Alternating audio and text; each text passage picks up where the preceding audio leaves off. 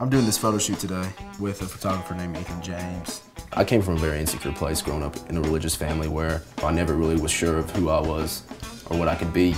I think it's great working with Ethan because he makes you feel real comfortable. We've had this relationship that started probably about six years ago, back when I was just new, newly out of the closet. I was living in Knoxville, going to college, lost some weight. He reached out to me, he's like, you should come up, you should let me photograph you. I think that what little gay kid doesn't want to be photographed? Especially when you're unsure of yourself and it kind of gives you like a little bit of validation, I think.